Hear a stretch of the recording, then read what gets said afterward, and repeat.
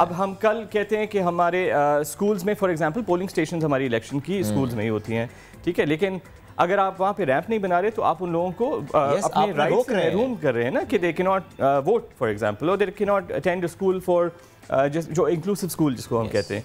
तो uh, उसके लिए वी वर्किंग ऑन इट कि moving forward all the plan should include these even कोई सड़क क्रॉस करनी हो तो रैंप वहाँ पर भी नहीं है। सारे फैसल पर रैंप्स नहीं है। बिल्कुल बिल्कुल बहुत अनफॉर्चुनेटली सैड सिचुएशन है but there is a lot to be done and again this अब जो लॉ पास हो गया है तो उसको कोई अवॉइड नहीं कर सकता। That is part of legislation ये क्या बात आपने कर दी लॉ पास हो गया कोई अवॉइड नहीं कर सका नहीं नहीं ऐसा देखा नहीं है मैंने आज तक। देखिए मेरी पूरी कोशिश यही अभी तक ये रही है आई डोंट नो अगर आपने नोटिस किया है कि नहीं बट फाइव परसेंट कोटा पे बहुत सारी बात होती है ना कि फाइव परसेंट इम्प्लीमेंट करना है सारे प्राइवेट एंड गवर्नमेंट ऑर्गेनाइजेशन को ठीक है ना?